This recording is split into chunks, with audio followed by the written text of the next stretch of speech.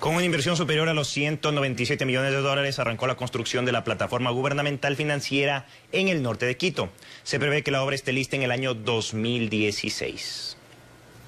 Estas imágenes nos muestran cómo será la plataforma gubernamental de gestión financiera, cuyos trabajos arrancaron en estos días y se prevé esté lista para diciembre del 2016. A más de acoger a 3.801 servidoras y servidores públicos, facilitará el acceso a la ciudadanía en general a más de seis instituciones del eje financiero en una sola edificación.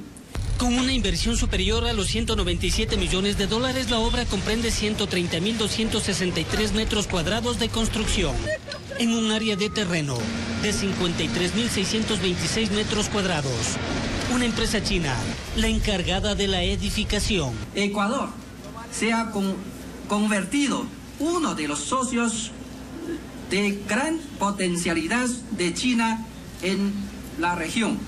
En la plataforma financiera compartirán espacio los ministerios coordinador de la política económica y de finanzas, el Servicio de Rentas Internas, Corporación de Seguros de Depósitos, Corporación Nacional de Finanzas Populares y los bancos Central del Ecuador del Estado y del Instituto Ecuatoriano de Seguridad Social. La entrega de un servicio público digno es la muestra de que podemos prestar servicios públicos de absoluta calidad y de hecho muchas veces mejores que los del sector privado.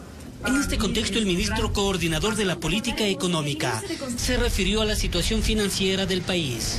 Efectivamente, con la afectación que hemos tenido, uno puede esperar que el crecimiento de este año sea positivo, muy bajito, cercano a cero o ligeramente negativo. Dependerá un poquito de cómo se mueve el entorno en estos meses.